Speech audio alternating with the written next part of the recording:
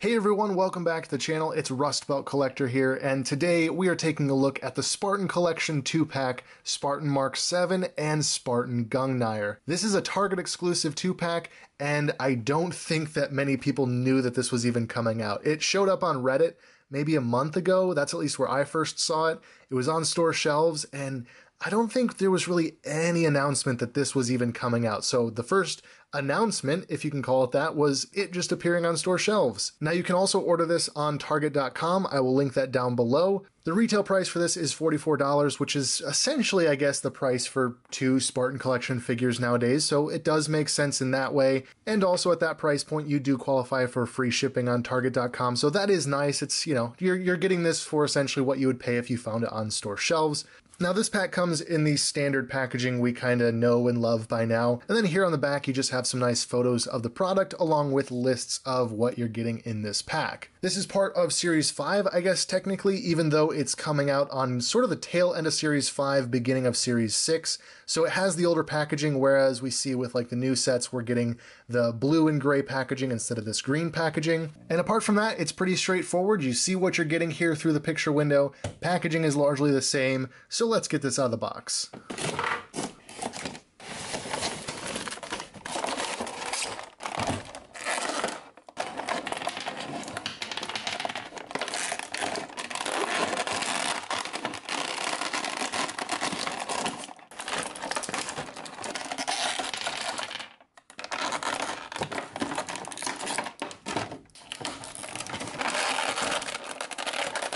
Now I gotta say, I don't buy a ton of the Spartan collection. I am all in on the World of Halo line. It just makes more sense. You get the vehicles, you get the Covenant, all that good stuff.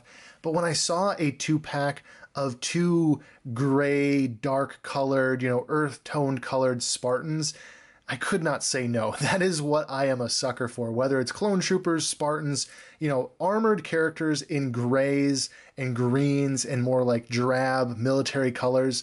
I I just dig that so much. And this pack really, really brings that home. You have this kind of earth toned Spartan Mark 7 and this gray toned Spartan Gungnir. Let's start things off with accessories. So, first up, we have this really awesome sniper rifle. You have the movable bipod that you can bring down or fold upwards. This is a if not an all new sculpt, it is certainly a scale up from the last one that we got. If you can believe it, this is the previous version of the sniper rifle we got with Spartan Jun, and this is the beautiful, in my opinion, upscaled version of that. It's just so much more accurate to the size that it should be in comparison to the Spartans, and also a lot of these details just seem way better defined, I guess, in the molding, so that is really nice to see. This carry handle can move a little bit as well because it's actually pegged into the sniper rifle holding these uh, the bipods in place. So you can kind of move that up and down but you can see there even the detail on the rail.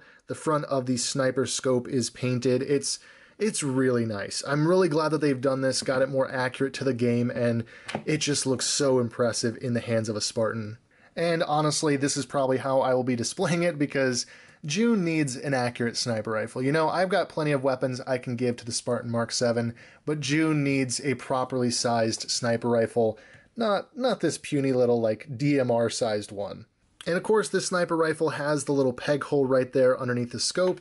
So on pretty much any of the Spartans, you can just pop this little peg out of the back, turn it around, and that gives you the option to display it with the weapon slung on the back. Now then we also get this brand new mold for the Sidekick pistol. It now has that underbarrel flashlight and it's slightly scaled down from this earlier version that I believe we saw in Wave 1 packed with Master Chief. Like with the sniper rifle, the Sidekick has a little hole there, allowing you to place it on the side of the Spartan's leg. All you gotta do to do that is pop this little peg out here, turn that around, place it back in, and there you go. I do like this feature on the Spartan collection because, you know, if you don't have a weapon here, that peg would be really ugly if it was just sticking out. So having that little piece able to be popped back into the leg like that is a really cool feature. You still have the functionality of being able to place weapons on the Spartan's leg or back, but also you have the ability to just have it like this. And then finally, we get the very first battle rifle ever seen in the Spartan collection. This is like one of the most iconic weapons in all of Halo,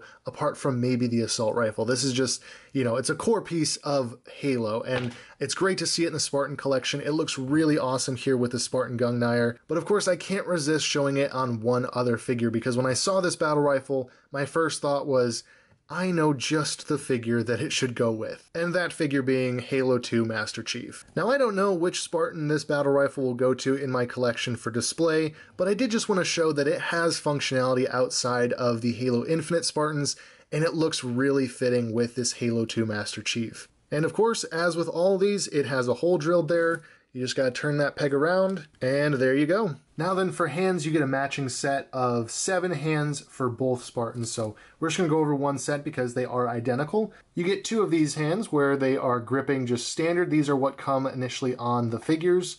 You get two closed fist hands. You get two trigger hands, which is a really nice inclusion because then you can go between either the gripping hands or the trigger hands depending on your preference.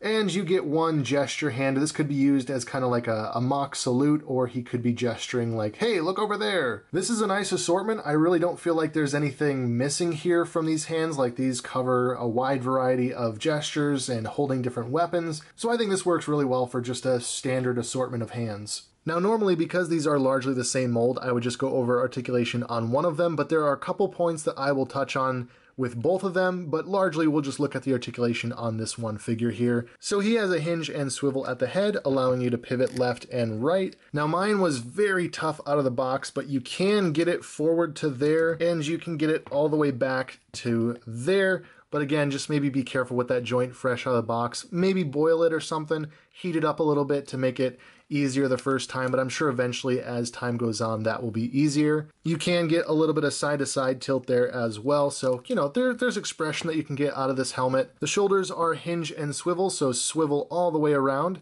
hinge up to 90 there. The shoulder pad is slightly soft and it's also kind of hollow there, so it allows it to go over top of the armor, which is great. There is also a swivel at the bicep, and then the elbows are double jointed, allowing you to crunch into 90. And at the wrists, you have a hinge and swivel on all the different hands, so this is the same for all of them with an in and out joint as well. There's a ball joint at the torso, allowing you some left and right, forward crunch, and back crunch. The hips have a ball joint and a thigh swivel, so you can pivot it forward to there, back to just there, and you can actually get the splits with this, which is really awesome. The knee joints are double jointed, so you can pivot those all the way back to there. While these knee joints may not be perfect, they do seem to be making some improvements from some of the previous waves where people were complaining about really weird knee joints that were way too long and really loose in some of the rubber. These actually have very little play side to side and when you bend them, they still look pretty decent. Just to give you an idea of what I'm talking about here with the Halo 2 Master Chief, you can see his knees are very bendy side to side. There's some soft rubber in there, and when you bend them, they look rather odd. So in comparison between these two, I'm very glad to see that they've made some improvements there, and hopefully they can fine tune these even more in the future. The feet are on a hinge and rocker, so you can push them forward to there, point them back to there, side to side rocker, and there is also a little swivel at the toe. Now again, these are both largely the same, however with this Spartan Mark 7, there is a little bit more mobility with the head in terms of side-to-side -side tilt, and because the shoulder pads are different, I just wanted to show that with this one, you can actually get it to you know, past 90 on the uh, on the T pose, but really I don't think you need more than the 90 degrees that you get with this one. So both are excellent. I just wanted to show that these shoulder pads do actually give you a little bit more range. But when it comes down to it, these are basically the same figure and both are pretty solid, I would say. They have a good range of motion, they have some improvements from previous waves, and that makes these really nice army builders, especially for a two-pack. The only thing that's ever really bothered me with the articulation is the elbows here. I do appreciate that these are double jointed. However, when you try to get these guys to hold a weapon, the only swivel is at the shoulder there. So you can, you know, kind of get it swiveled over to there, but you can't really get it any lower than that. You can still get them to shoulder their weapon just fine. It just takes maybe a little bit more finagling to get it quite right. And I know that this is more of a nitpick of mine, but I do just wish that this was single jointed so you'd have the swivel at the elbow, giving you a little bit more mobility when trying to hold a weapon. The perfect example that I can show is here on the World of Halo Mark 7 Spartan. It is single jointed. You still get that 90 degree turn into the elbow, but then you have that option of pivoting that elbow inwards while the shoulder is level with the body. And that makes shouldering a weapon just feel a lot easier. Again, it's just a nitpick. It's not impossible for them to hold a weapon well with the double jointed elbows, but it feels just slightly easier with the single joint that has that swivel there at the elbow. I'd be curious to know what your thoughts are on that type of joint down in the comments below. Like, does this actually bother you, or am I just alone and, you know, kind of just being a little bit too nitpicky with this figure? Despite my thoughts on the elbows, though, I still really like these figures. Again, I am a sucker for the gray and the green and the drab colors. I couldn't tell you exactly what armor coatings these are. I'm sure that they have an in game counterpart but they just look really, really nice. In fact, they even look really nice together. You know, maybe this is a, a Spartan unit that we didn't get to see in the Halo Infinite campaign. It's just, it's fun to kind of play around with some, you know, head cannons or something, but the design here is really cool. What's also cool to see here is that there's a lot of new armor pieces going on here. This particular Mark 7 attachment is brand new to the Spartan Collection line. All the different shoulder pads we see here are new as well. We get matching ones on the Spartan Gungnir and asymmetrical ones on the Spartan Mark 7, which I think is a really cool choice because if these are truly multiplayer Spartans, sometimes you have players that like to mix things up a bit. This chest piece and this leg attachment are also brand new, and even the knee pads are new to the Spartan collection. We did not get these on any previous Mark 7 bodies. It's also worth noting that the paint apps here are really crisp, looking very clean. The line work, especially on the Spartan Gungnir here that has the little yellow and red markings, looks really, really nice. There's no overspray or anything. And also, though it may be kind of hard to pick up on camera, both Spartans have some silver dry brushing. You can see it there along the ridge of his chest plate and along the ridges here on the top of the Mark 7's helmet. It is all over and it really helps make these guys look battle damaged and it also makes a lot of the sculpted details pop just a little bit more. And we also get the return of glossy visors. I thought for sure that this would just be, you know, a flat black visor going on here because it's so small, but as you can see there, it actually has a really nice gloss coating to it, which looks so cool. And for the first time with the Spartan Gungnir, we actually have the chrome visor, which looks really sweet, even though I have to admit I'm, I'm not a huge fan of this removable visor piece, just in terms of the Halo Infinite design. It's not anything wrong with this figure because they're just following the design of the game, but in game, if, if I'm going to wear the Gungnir armor, it's going to look like it does in Halo Reach, which is just like this. Now then, let's go through and take a look at some of the previous iterations of the Mark 7 Spartans that we've gotten in the Spartan collection. I honestly kind of thought for a second, like, hey, we've only ever gotten one Mark 7, the, the red one from Series 1. But in fact, we have actually gotten three previous versions. We also got this one. I can't for the life of me remember the name of this Spartan. Uh, Spartan Enigma, maybe? I think that's the name of this armor. We got the Spartan Enigma there, and we also got the Spartan Gungnir in an orange armor coating. This one actually does not have the uh, the chrome on the eyes, it's just painted green there. So that's why it was worth noting that the new one actually has chrome eyes. It's pretty cool seeing all of these lined up here and all of them being extremely unique from one another. Each one of these brought with it some sort of new design or new attachment. You know, we started with the basic Mark 7 and then we moved up into the Gungnir with different armor attachments and leg attachments. We got more with the Enigma and these just kind of keep that trend. You know, we're not getting just a recolor, we are getting new parts, new armor designs, new armor coatings, and that's just so awesome to see because Halo is all about the customization in the multiplayer. So that's what we're seeing here. We're seeing a bunch of custom Spartans with unique armor attachments and unique armor colors. There is actually a good chance I will pick up a second one of these packs because I could see some cool kit bash, custom, repaint opportunities here with these. They have the improved articulation. And as I've said before, their armor coatings are just right up my alley, so it's it's going to be tough to not get another pack. Now, as we wrap things up, I did want to showcase one little thing that is really cool for any of you customizers out there. It's actually something I just figured out in this video, but with these Spartans, you can actually pop them apart at the torso with relative ease. And because that joint hasn't really changed from figure to figure, even from all the way back in Wave 1, you can actually pretty much just pop and swap these upper torsos and legs.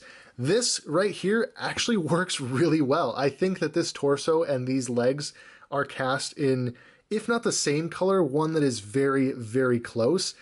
And that just straight up works as a custom figure right there. Like, boom, there you go. Playing around with it a little bit more, it seems like these two have some older tooling in the torsos that makes them not quite as compatible, which is disappointing because this swap here was really simple and really cool looking. But if you're an avid customizer, I'm sure with a little bit of modification, you could definitely get that to work. You may even have luck popping out the hip joints and just swapping legs over or arms over you know, there's definitely some room to play around with customization with these, and I may even do a complete video on that at some point. But with all that being said, I still really like these figures. I still think that the Spartan collection has good value for what you're getting. All the interchangeable hands, all the great sculpt work and detail, and the weapons, especially these upgraded weapons like the sniper rifle and the upgraded sidekick. The detail is really nice. The specific armor coatings you get with these two is a personal favorite of mine so far with the Mark 7s. And overall, it's just a really good army building or customization pack from the Spartan collection. Again, I don't really focus on the Spartan collection with my personal collection. I kind of just pick up figures here and there, and even I might pick up a second pack of these. So this is definitely a win for the team that put these together over at Jazwares. I am really, really impressed with these. But anyways, that is where we are wrapping up this review. So if you want to pick up this pack for yourself, I will link it down in the description so you can get one of your very own. And you can also find a Linktree down there in the description. That'll take you over to my Instagram, over to my Facebook. All my other social links are down there if you want to follow me on any other platforms. But yeah, thank you all so much for watching. I really do appreciate all of you that have taken the time to like, comment, subscribe. It just, it means so much to me that you guys stick around here on the Rust Belt Collector channel. But anyways, thank you again so much for watching. Have a wonderful evening, noon, or night, depending on when you're watching this video, and I will be sure to catch you all in the next video.